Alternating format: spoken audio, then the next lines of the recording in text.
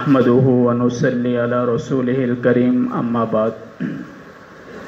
میرے محترم بھائیو، آپ کو معلوم ہے کہ یہ بڑا عظیم مہینہ ہے، خاص کر کے شروع کے دس دن۔ کتنے بیچارے ایسے ہوتے ہیں کہ جو صرف رمضان کو سمجھتے ہیں یا تو بقرعید کو سمجھتے ہیں۔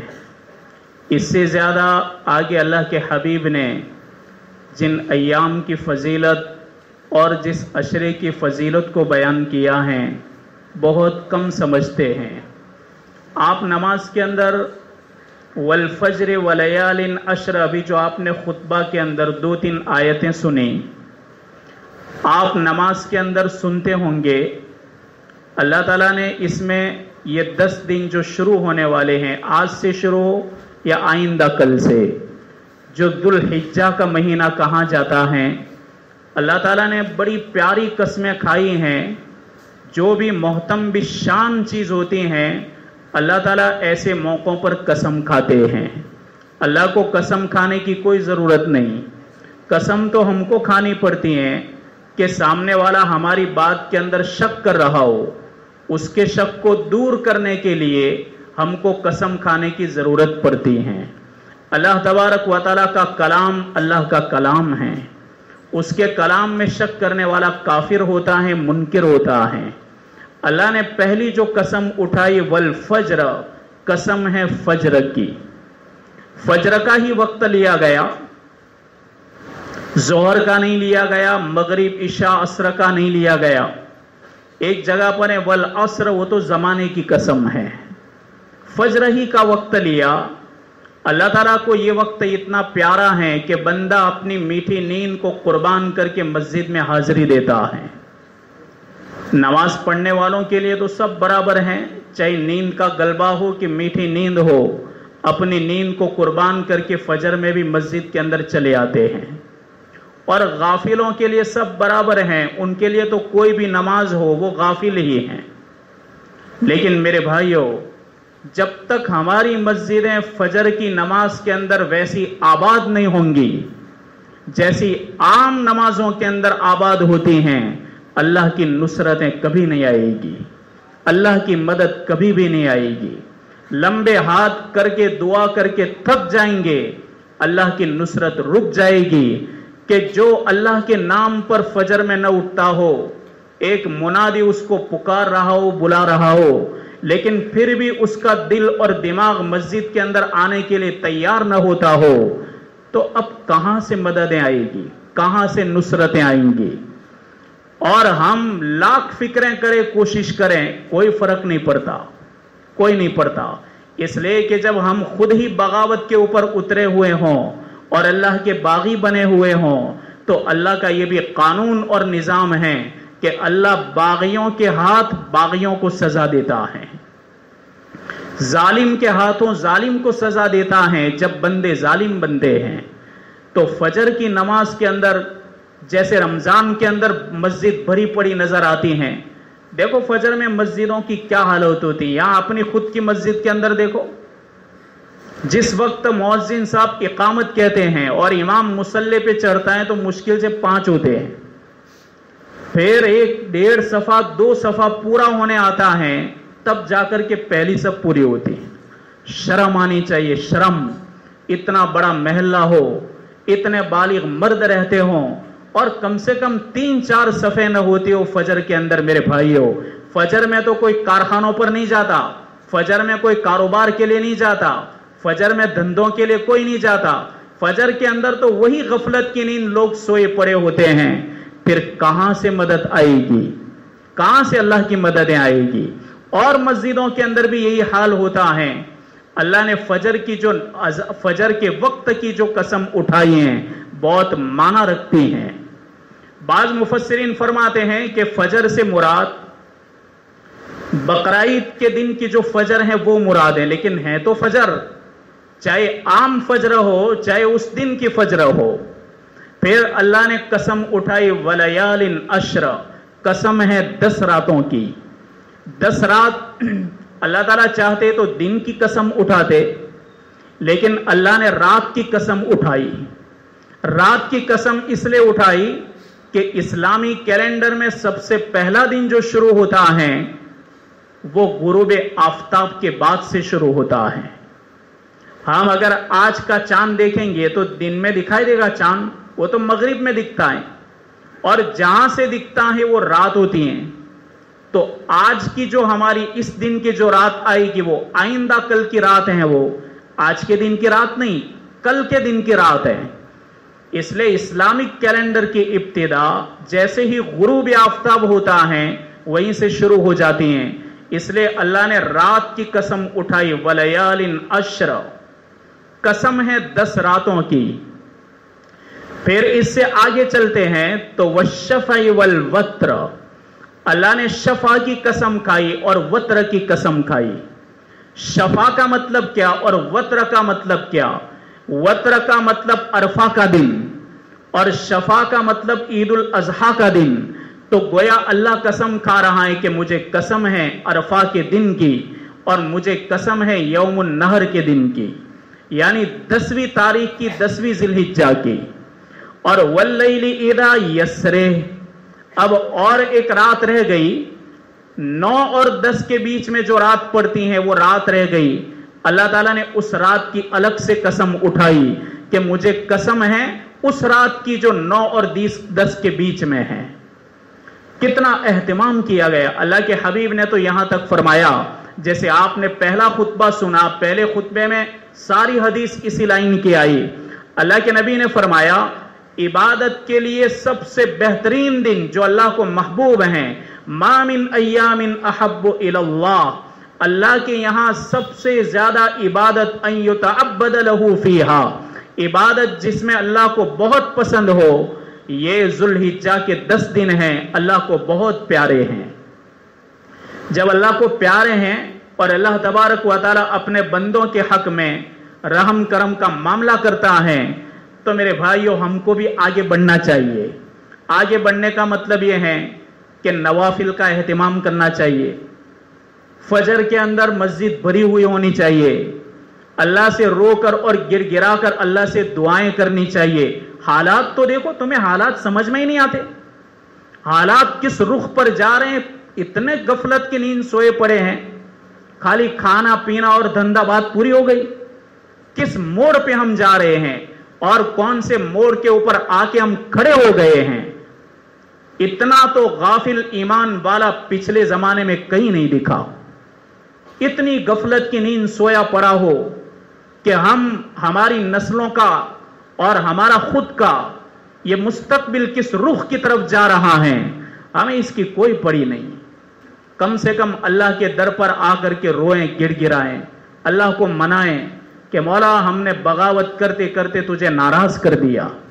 اتنی بغاوتیں کر دی کہ رخ، زمانے کا رخ ہمارے مخالف چل رہا ہے۔ زمانے کا رخ ہمارے موافق نہیں، بالکل ہمارے مخالف چل رہا ہے۔ ہم دعائیں کر رہے ہیں پر ہماری دعائیں اثر نہیں لا رہی ہیں۔ لوگ فکریں کر رہے ہیں لیکن ان کے فکریں کارگر نہیں ہو رہی ہیں۔ کم سے کم حالات تو سوچو۔ اور دیکھو سب سے بڑا اہل ایمان کا مرکز مسجد ہیں ہمارا نبی جب کبھی بھی کوئی بھی پریشانی آئی، صحابہ کو لے کر مسجد میں آیا۔ یہاں تک کہ اگر بارش بھی زور سے ایسی برسی کہ جس میں کرا کے بجلی اور کڑک ہوئی اور دھماکے ہوئے، ایسے موقع پر بھی ہمارا نبی مسجد کے اندر ہوتا تھا۔ وہ دیکھتا نہیں تھا ہمارا نبی، مسجد کے اندر ہوتا تھا۔ کہ کہیں اللہ کا گزب نازل نہ ہو جائے۔ اور جہاں کہیں بھی خوف اور خطرے کا عالم ہوتا، ہمارا نبی مسجد کے اندر ہوتا تھا۔ تو آپ نے تو ہم سب کو تعلیم دی، قیامت تک کی آنے والی ہماری نسلوں کو تعلیم دی ہیں۔ ہمارا نبی ہمیں یتیم مسکین چھوڑ کے نہیں گیا کہ حالات اگر کروٹ لیتے رہیں۔ یہ تو تلکل ایام ندا ویلوہا بین الناس۔ یہ دن تو آتے ہیں اور چلے جاتے ہیں۔ اچھے دن بھی آتے ہیں، برے دن بھی آتے ہیں۔ اور ہر قسم کے دن آتے اور چلے جاتے ہیں۔ زمانہ کروٹ لیتا، لے لیتا ہے، پتہ بھی نہیں چلتا۔ بڑے بڑے خونخار ظالم بادشاہ صدیوں تک حکمرانی کر کے چلے گئے۔ نہ ان کی کوئی آرمی باقی رہی اور نہ ان کے قبروں کے نشان باقی رہے۔ یہاں تک کہ تاریخ نے بھی ان کے نام کو جگہ نہیں دی۔ یہ تو رخ بدلتا ہے آتا ہے جاتا ہے پر ہم کو، ہمارے نبی نے بہت کچھ سکھایا ہے۔ کہ ہمارے نبی نے آزمائش کے موقع پر ایک ایمان والا کیا کرے گا؟ آزمائش کے موقع پر ایمان والا کتنا چوکنا رہے گا؟ اور آزمائش کے موقع پر ایمان والا اللہ کے در پہ کیسے آئے گا؟ تو میرے بھائیو، ہم نوافل کا اہتمام کریں، دعاؤں کا اہتمام کریں، اور نماز کی پابندی کریں۔ صدقات کا بھی اہتمام کریں ان دس دنوں کے اندر۔ صدقات کا بھی۔ اللہ تعالیٰ بڑا چڑھا کر کے پیش کرے گا۔ اور اللہ تبارک و تعالیٰ اس کے بدلے ہمارے حالات کے رخ کو بھی موڑ دے گا۔ اللہ قادر ہیں۔ اتنا مہربان ہے اتنا مہربان ہے کہ ایک مرتبہ وقت کا محدث ابو عبداللہ ابو عبداللہ الجوہری عرفات کے میدان میں ہیں اور رات کا وقت سویا ہوا ہے۔ آپ کے خواب میں دو فرشتے آئے۔ ایک فرشتہ دوسرے فرشتے کو پوچھ رہا ہے کہ اس سال حج کرنے والوں کی تعداد کتنی؟ دوسرے فرشتے نے کہا کہ چھ لاکھ۔ اس زمانے میں تو اتنی سنکھیا ہوتی تھی۔ کبھی لاکھ بھی ہوئے، کبھی پچاس ہزار بھی ہوئے ہیں۔ جیسے زمانے آتے گئے، تاتاریوں کے زمانے میں بہت مشکل سے لوگ حج کر پاتے تھے۔ جب تاتاری انقلاب آیا۔ تو دوسرے فرشتے نے کہا کہ چھ لاکھ لوگ حاضر ہیں۔ پھر پہلے ہی فرشتے نے جس نے پہلے سوال کیا تھا، دوسری مرتبہ سوال کیا۔ کہ اس سال کتنے لوگوں کا حج قبول ہوا؟ تو جس نے جواب دیا تھا، اس نے کہا چھ آدمیوں کا قبول ہوا۔ صرف چھ آدمیوں کا۔ چھ لاکھ اور چھ آدمی۔ پہلے نے پھر سے سوال کیا، تو یہ چھ کے علاوہ جتنے باقی حاجی رہ گئے، ان کا کیا؟ تو دوسرے فرشتے نے کہا کہ میرے رب نے ان کے حق میں یہ فیصلہ کر دیا کہ ہر حاجی، ایک حاجی جس کے حج قبول ہوئے ہیں ان میں سے ایک کے صدقے میں ایک لاکھ کے حج کو قبول کیا، دوسرے کے دو لاکھ، تیسرے کے تین لاکھ یعنی چھ کی برکت سے اللہ تعالیٰ نے چھ لاکھ حاجیوں کے حج کو قبول کر لیا۔ اتنا مہربان ہے اور اللہ تعالیٰ فضیلت کے دنوں دنوں کی جو بھی اہمیت رکھتا ہے اللہ تعالیٰ قیامت کے دن اس کی لاج رکھے گا۔ اللہ اس کو ذلیل نہیں کرے گا۔ آپ تفسیر سنتے اور پڑھتے ہوتے تو آپ کو معلوم ہوتا کہ حضرت داؤد علیہ السلام کے زمانے میں سمندر کے کنارے پر ایک بستی تھی جس کا نام تھا ایلا۔ قرآن نے بھی اس کا تذکرہ کیا۔ وَاسْأَلُهُمْ عَنِ الْقَرِيَةِ الَّتِي كَانَتْ حَاوِرَةَ الْبَحْرَ۔ آپ انہیں پوچھئے، یہودیوں کو پوچھو آپ، وہ بستی جو ایلا سمندر کے کنارے پر تھی، ان کے ساتھ تمہارے رب نے کیا معاملہ کیا؟ انہیں سوال کرو۔ اللہ تعالیٰ نے ان کو پابند کیا تھا کہ سنیچر کا احترام کرنا، سنیچر کے دن۔ جیسے اللہ نے ہم کو جمعہ عطا فرمایا کہ جمعہ کے دن جو آدمی جمعہ کا اہتمام رکھے گا، اللہ تبارک و تعالیٰ اس کو فضائل سے نوازتا ہے ان کو کہا گیا سنیچر کے دن تم کسی بھی قسم کا شکار نہ کرنا، خالی عبادت کرنا۔ اب یہ تو سمندر کے کنارے پر رہتے، ستر ہزار لوگ تھے اس شہر میں رہنے والے۔ ایلا کے اندر رہنے والے ستر ہزار لوگ تھے۔ اب اللہ نے ان کو بہت بڑی آزمائی اس میں مبتلا کر دیا۔ ادتیم حیتانہم یوم سبتہم شرعا ویوم لا یسبتون لا تأتیہم کذالک نبلوہم اللہ فرماتے ہیں کہ ہم نے ان کو کہا سنیچر کے دن شکار نہ کرو۔ اور سنیچر کے دن ہی مچھلیاں آتی تھی اور جس جو دن سنیچر کا نہ ہوتا، اس دن مچھلیاں نہیں آتی تھی۔ اللہ نے ان کو اس طرح آزمایا۔ اس سمندر کے کنارے پر کھڑے رہتے۔ تو نہیں، وہ ڈولفین کو آپ نے دیکھا ہوگا کہ وہ اچھل کر کے پوری باہر آ جاتی ہیں۔ پھر زور سے وہ واپس سمندر کے اندر گرتی ہیں۔ اس طرح ایلا کے سمندر کے کنارے مچھلیاں اچھلتی تھی اور جاتی، اچھلتی اور جاتی۔ جب یہ منظر یہودی دیکھتے تو ان کے منہ سے پانی ٹپکتا تھا کہ کاش ہم کو اجازت ہوتی مچھلی پکڑنے کی تو ہم پکڑ لے۔ اس لیے کہ اتوار کے دن سے بند۔ اتوار، پیر، منگل بوت جمعرات جمعہ، کسی دن نہیں آتی تھی۔ وَيَوْمَ لَا يَسْبِتُونَ لَا تَأْتِيهِمْ۔ سنیچر کا دن نہ ہوتا، مچھلیاں نہ آتی۔ ان کے پاس شیطان آیا۔ شیطان نے کہا، پریشان لگ رہے ہو؟ کہاں پریشانی ہے۔ وہ بوڑھے کی شکل میں آتا ہے، لکڑی لے کر آتا ہے، جھکا ہوا ہوتا ہے۔ آ کر کے کہا کہ دیکھو، تم کو میں اتنا اچھا فتوا بتلا ہوں ہلا حوالہ والا، کہ آپ کا مقصد بھی حل ہو جائے گا اور تم اللہ کے مجرم بھی نہیں بنو گے۔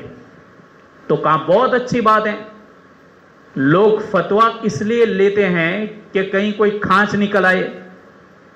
بہت کم ایسے لوگ ہوتے ہیں کہ ہم حرام سے بچ جائے۔ اس غرض سے پوچھنے والے بہت کم ہوتے ہیں۔ تو شیطان نے کہا، چلو میرے ساتھ سمندر پہ چلو، سمندر پہ آئے۔ کہا کہ دیکھو، تم کو کچھ بھی نہیں کرنا ہے۔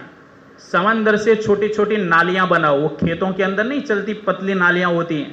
پانی ایک کھیت سے دوسرے کھیت میں جاتا ہے۔ ایسی نالیاں بناؤ اور آگے جا کر کے کھڈا کر دو۔ اب تم کو کیا کرنے کا؟ سنیچر کا دن آوے اور مچھلیاں کودنے لگے۔ تو نالی کے اندر آٹا ڈالنے کا آٹا، پیسا ہوا آٹا۔ اب مچھلیاں کہاں آئے گی؟ کھانے کے لیے نالی میں آئے گی۔ اور ایسا لگے کہ پورا کھڈا بھر گیا، تو یہاں سے نالی بند۔ تم نے کہا مچھلی شکار کی ہے وہ تو اندر پڑی ہوئی ہے۔ اب مچھلی جا بھی نہیں سکتی اور تم نے ہاتھ بھی نہیں لگایا اور تم بچ گئے۔ یہ ہلا حوالہ بتایا۔ حالانکہ ہمارا جو صاحب ہدایہ، ان کی کتاب ہدایت، جسٹس کتاب ہیں، اسلام کی مقدس کتاب ہے اگر کسی نے اس طرح مچھلی کو ایک طرف کر لیا، پار بند کر دی، وہ شکاری ہیں۔ اس لیے کہ تم نے قید تو کر دیا ہے۔ اب اس کی طاقت نہیں کہ تمہارے ہاتھ سے چھوٹے تمہارے ہاتھ میں ہی آ گئی۔ ہاں قبضہ کرنے کا انداز الگ ہے خالی، باقی تمہارے قبضے میں تو آ گئی ہے۔ یہ بھی شکار ہیں، اس کو بھی شکار کہتے ہیں۔ انہوں نے اس طریقے سے نالیاں بنائی اور کھڈے بنائے اور وہ سب کے سب مچھلیوں سے بھر گئے۔ اللہ تبارک و تعالیٰ نے ان میں تین جماعتیں ہو گئی۔ ایک جماعت تو اس سے باز آ گئی، ایک جماعت ڈراتی رہی۔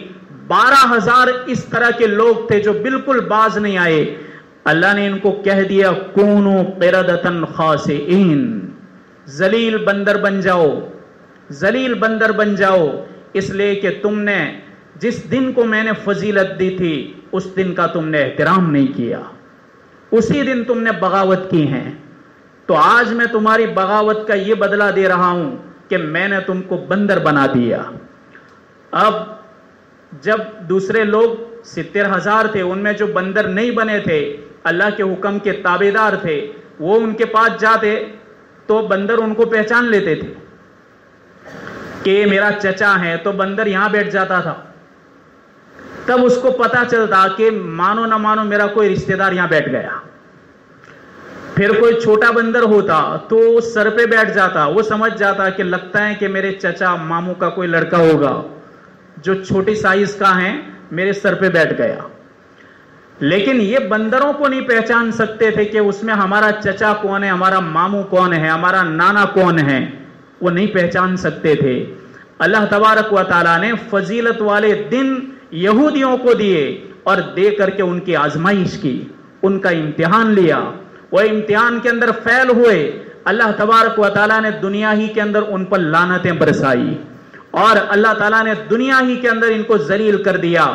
آخرت کا معاملہ اپنی جگہ پر برقرار رہا، لیکن رہتی دنیا تک اللہ تعالیٰ نے قرآن میں ان کے عذاب کو نوٹ کیا تاکہ قیامت تک لوگ پڑھتے رہے۔ ہم پڑھتے ہیں۔ نمازوں میں پڑھتے ہیں۔ آپ آپ جب قرآن کو مکمل کرتے ہو تو آپ بھی پڑھتے ہو۔ تراوی کے اندر ان کے عذاب کو پڑھا جاتا ہے۔ تو میرے بھائیو، ہم موقع غنیمت سمجھیں۔ بہت غنیمت سمجھیں۔ اللہ تعالیٰ نے اس مہینے کے اندر دو عبادتیں جمع کر دی ہیں۔ ایک تو قربانی جیسا مقدس عمل اور ایک تو حج۔ اللہ تعالیٰ نے حج اس مہینے میں ایام کو متعین فرمایا۔ اور بہت بڑے دو احکام اس مہینے کے اندر متعین کر دیے۔ اور اللہ تعالیٰ نے اسی مہینے کے اندر اس جگہ کو آباد کر دیا۔ ابراہیم علیہ السلام مقدس کعبہ بنا رہے ہیں۔ اسماعیل علیہ السلام مدد کر رہے ہیں۔ جب بن گیا تو اللہ تبارک و تعالیٰ سے دعا کر رہے ہیں کہ میرے پروردگار، یہ بن تو گیا لیکن اس کو آباد کرنے والا کوئی چاہیے۔ میرے چلے جانے کے بعد یہاں بہت بڑی ضروریت رہے۔ اور توحید پرست رہے، توحید پرست تجھ کو ایک ماننے والے رہے، اور وہ قیامت تک تیرے مقدس گھر کو آباد کرتے رہے۔ تو کوئی عظیم ہستی تو یہاں بھیج دے، تاکہ قیامت تک تیرے گھر کو آباد کرتے رہے۔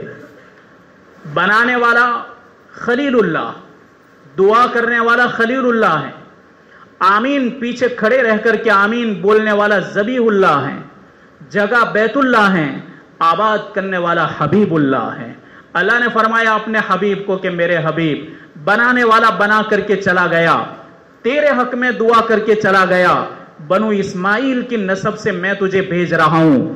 بنو اسحاق کی نصب سے اسرائیلی لوگ آئے۔ اور یعقوب علیہ السلام سے بنو اسرائیل آئے۔ لیکن بنو اسماعیل سے صرف ایک نبی آیا۔ اور وہ ایسا نبی آیا کہ تمام نبیوں کا سردار آیا۔ اور تمام نبیوں کا امام بن کر کے آیا اور وہ ہمارا نبی آیا۔ اللہ تعالیٰ نے آپ کے صدقے میں اس مقدس جگہ کو آباد کر دیا اور آپ ہی کے صدقے میں اللہ تعالیٰ نے ہم کو یہ ایام نصیب فرمائے ہیں۔ تو میرے بھائیو، ہم ایسے ایام کو بہت زیادہ اپنی زندگی کے آخری ایام ہیں، ہم ایسے سمجھے۔ اور جتنے بھی ہو سکے تکبیر کے تو دن آئیں گے، اس وقت تب تکبیر کا موقع ہوگا۔ لیکن ہماری ماں بہنوں کو بھی جو سنتی ہیں بیچاری، ان کو تو معلوم ہے کہ کیسے دن ہیں۔ اور اللہ تعالیٰ نے ان دنوں کو کتنی فضیلت دی ہے انہیں تو معلوم ہو جائے گا۔ لیکن ہم اپنے گھروں کے اندر ہماری ماں بہنوں کو، ہماری بچیوں کو بتائیں اور دعاؤں کا خاص خاص اہتمام کرائیں۔ اللہ تبارک و تعالیٰ اس شکر گزاری کے صدقے میں ہمارے حال پر رحم کرے گا۔ اور اگر ہم نے شکر گزاری نہیں کی تو اللہ تبارک و تعالیٰ اپنے در سے ہٹا دیتا ہے۔ دیکھو نا، ابراہیم علیہ السلام نے اپنے بیٹے اسماعیل کو یہاں رکھا، مکہ میں۔ وہ تو رکھ کے چلے گئے۔ اللہ سے مانگتے رہے مانگتے رہے، چھاسی برس کی عمر میں تو بچہ دیا۔ بچہ دیا، اب محبت ہو گئی، تو کہا کہ وادی میں رکھ کے آؤ۔ عجیب امتحان ہے۔ دے رہا ہے بڑھاپے میں۔ اب آ گیا تو کہتے ہیں رکھ کے آؤ۔ تو کہاں رکھ کے آؤں، کہاں رکھوں؟ کہاں تجھ کو فکر نہیں کرنی ہے، تیرے ساتھ جبرائیل آئے گا۔ جبرائیل علیہ السلام انسانی شکل میں گھوڑے پر بیٹھ کر آئے اور ابراہیم علیہ السلام کو لے کر چلے۔ چلو، کہاں تمہارے لڑکے کو رکھنا ہے، میں تمہیں بتاتا ہوں۔ چلتے چلتے خانہ کعبہ، جو آج کی عمارت ہے، وہاں چھوٹا سا ٹیلا تھا۔ خانہ کعبہ نہیں تھا۔ اور باقی صفا مروا تو پہاڑیاں بڑی بڑی تھی۔ جو ابراہیم آگ میں جاتے ہوئے نہیں گھبرایا، اس پوائنٹ پہ جا کر کے گھبرا گیا کہ کیا میری بیوی اور بیٹے کو یہاں چھوڑ دوں؟ ایسی جگہ میں چھوڑ دوں۔ نمرود کی آگ سے نہ گھبرانے والا وادی مکہ کے اندر گھبرا گیا کہ میرے معصوم بیٹے کو چھوڑ کے کہاں چلا جاؤں گا؟ ایسی جگہ پر امتحان کروائے کہ رکھ دو۔ چلے جاؤ، جبرائیل نے کہا، میں بھی جا رہا ہوں، تو بھی نکل۔ تو کہا کہ جبرائیل یہی تجھ کو یہاں کہاں ہے؟ ہاں کہاں؟ مجھے ایڈریس دیا ہے، میں تجھ کو لے کر آیا یہاں پر۔ ابراہیم علیہ السلام کا دل نہیں رکھ رہا تھا۔ سنگلاخ وادیاں، دور دور تک پانی کا نشان نہیں، دور دور تک انسان کا نشان نہیں۔ ایسی جگہ پر لا کے چھوڑ کے چلے گئے۔ ابراہیم نے کہا، تو تو پھر میں بھی چلتا ہوں۔ جبرائیل نے کہا، جاؤ، میں جاتا ہوں، اللہ کو خبر دیتا ہوں، تم چلے جاؤ۔ یہ بھاگ رہے ہیں، پیچھے پیچھے ان کی بیوی بھاگ رہی ہیں۔ تین میل تک چلی، تین میل تک۔ کوئی جواب نہیں دیا۔ خالی اشارہ کر دیا کہ اوپر سے آرڈر ہیں۔ تو چلے گئے۔ کتنا بڑا فیصلہ۔ جب بڑا ہو گیا لڑکا لڑکا بڑا ہو گیا۔ محبت آئی، تو کہاں زبا کر دو۔ ہر جگہ محبت توڑی جا رہی ہے۔ زبا کرنے کے لیے بھیج دیا۔ پھر چوری نہیں چلی۔ ابراہیم علیہ السلام کو کہا، ٹھیک ہے، ہم آپ کو یہ زبیہ دے دیتے ہیں، دے دیا گیا۔ اس کے بعد پھر کہا کہ آپ یہیں رہ کر مکہ کو آباد کرو۔ اسماعیل علیہ السلام وہیں پر رہ رہے ہیں۔ ابراہیم علیہ السلام فلسطین میں رہ رہے ہیں اور فلسطین سے مکہ آ رہے ہیں، چل کر کے آ رہے ہیں۔ ایک مرتبہ اپنے بیٹے کی ملاقات کے لیے شادی کے بعد اسماعیل علیہ السلام کی شادی ہو گئی۔ آئے آپ۔ دیکھا تو لڑکا نہیں، آپ کی ملاقات بھی نہیں ہوئی، واپس چلے گئے۔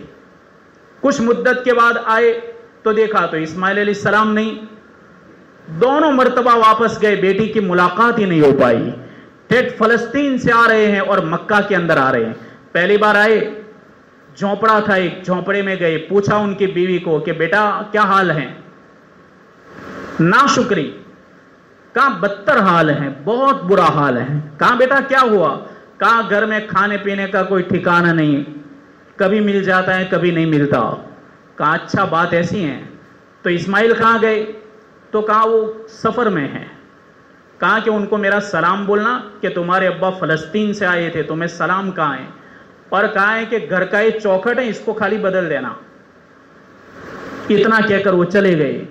اسماعیل علیہ السلام آئے۔ بیوی نے کہا کہ ابا آئے تھے۔ کہا، کیا کہا؟ کہا، آپ کو سلام کہاں ہے؟ تجھے کچھ پوچھا تھا؟ کہاں پوچھا تھا۔ گھر کی حالت پوچھی تم تم نے کیا کہا؟ میں نے کہا کہ بہت بدتر حالت ہے۔ لیکن تمہارے ابا نے کہا ہے کہ گھر کی یہ چوکھٹ امروٹ بولتے ہیں امروٹ اس کو چوکھٹ کہتے ہیں۔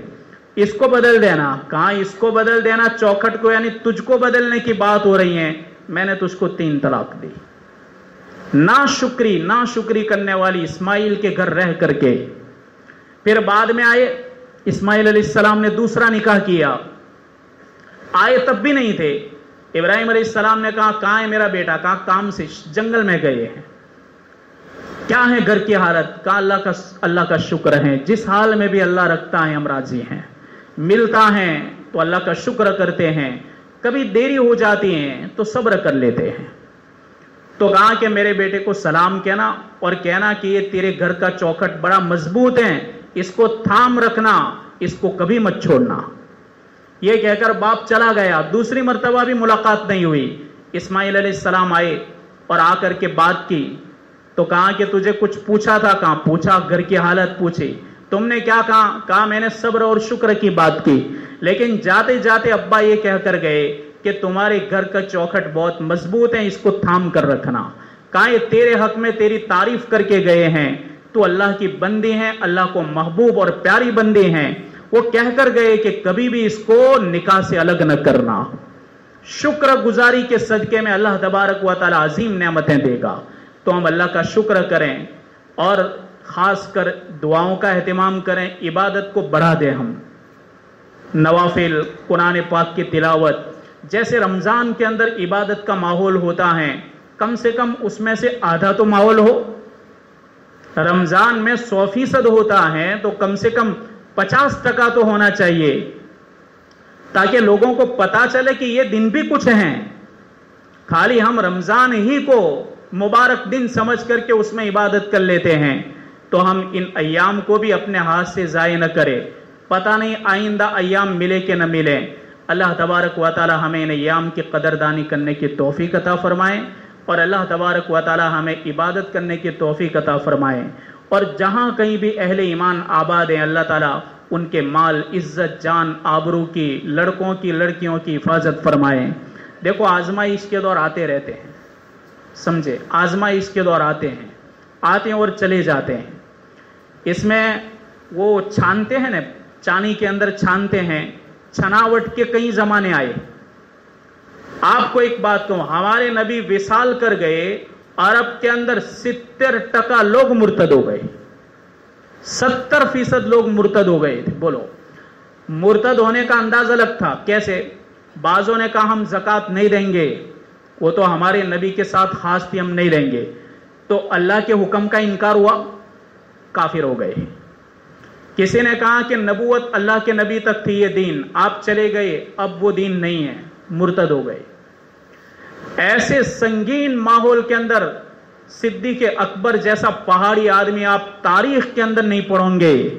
صدیق اکبر نے کیسی حکمت سے کام لیا کہ ایسے زمانے کے اندر ارتداد کا زمانہ چل رہا تھا۔ لوگ جونک در جونک اسلام سے نکل رہے تھے، کفر میں جا رہے تھے۔ ایسے دور کے اندر مسلمہ قذاب نبوت کا اعلان کر رہا ہے۔ نبوت کا اعلان کیا۔ یہ کیا کم حالات تھے؟ تو اور بھی اس نے حالت برباد کر دی مسلمہ نے، کہ اس نے کہا کہ میں نبی ہوں۔ محمد کے بعد مجھے نبی بنایا گیا۔ لیکن صدیق اکبر رتی برابر متاثر نہیں ہوئے۔ اللہ تبارک و تعالیٰ نے آپ کو حوصلہ سے نوازا۔ اللہ تبارک و تعالیٰ نے آپ کو پہاڑی دل دیا تھا۔ اسی وجہ سے جنگ یمامہ آئی وجود کے اندر اور جنگ یمامہ کے اندر خالد بن ولید جیسا آدمی کود پڑا، حالات سے ٹکر لی، زبردست ٹکر لی۔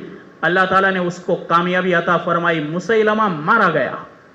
حالات پلٹ گئے، حالات درست ہو گئے۔ دو سال کے اندر اندر تو پورے عرب کے اندر پھر سے امن و امان قائم کر دیا۔ دو سال کے اندر۔ کہ جہاں تیس فیصد لوگ ایمان پر برقرار ہو، ستر فیصد لوگ ارتداد کا راستہ اختیار کر گئے ہوں۔ تو کیسے حالات؟ ہم نے تو کچھ دیکھا ہی نہیں۔ کچھ نہیں دیکھا۔ اللہ ہمیں نہ بتائے۔ ہم آزمائش کے قابل نہیں ہیں۔ ہم فیل ہو جانے والے لوگ ہیں۔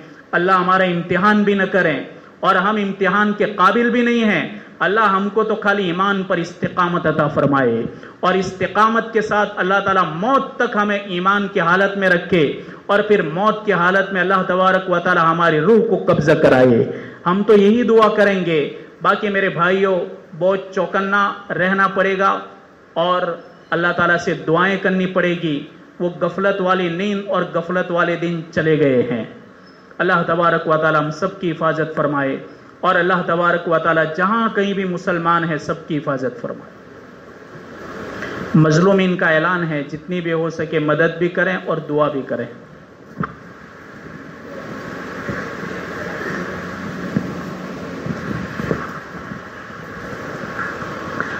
یا رب لك الحمد حمدا دائما ما دوامك ويا رب لك الحمد حمدا خالدا مع خلودك ربنا آتنا في الدنيا حسنة وفي الآخرة حسنة وقنا عذاب النار وقنا عذاب القبر وقنا عذاب الفقر وقنا عذاب الحشر وقنا عذاب الدين.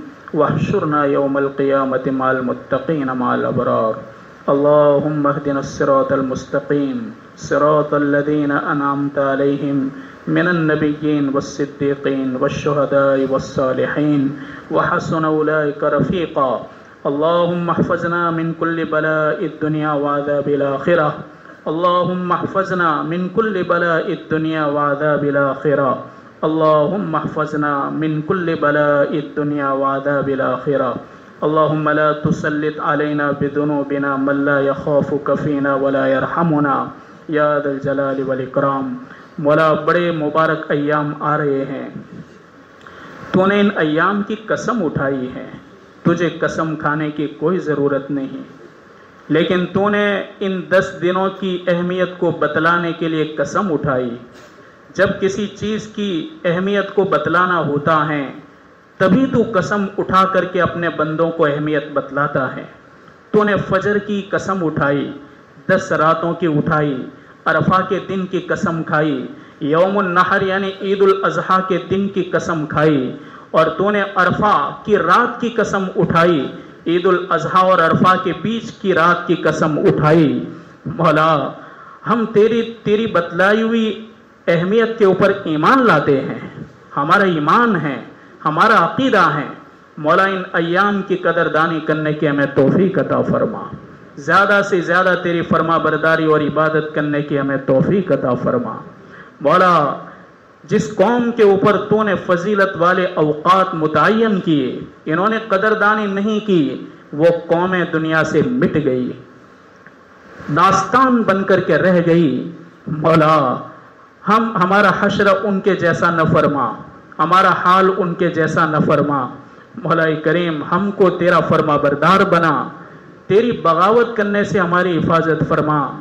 مولا، تیری ناراضگی ہمیں دکھائی دے رہی ہیں حالات کو دیکھتے ہیں، منظر کو دیکھتے ہیں، تو ہم کو لگتا ہے کہ تو ہم سے ناراض ہیں۔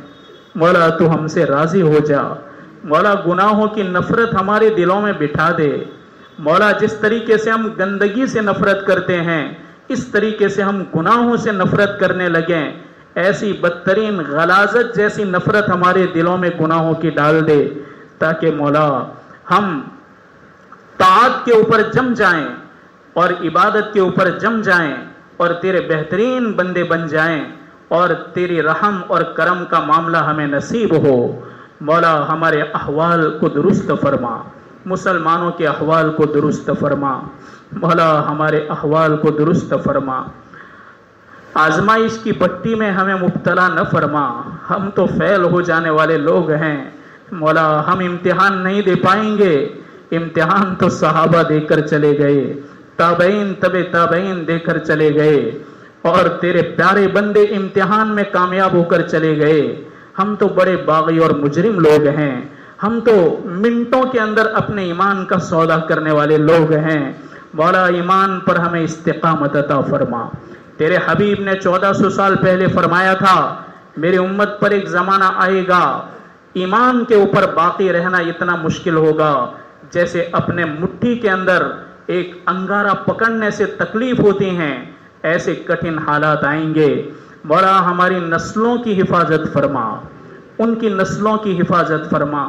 قیامت تک کی آنے والی نسلوں کی حفاظت فرما۔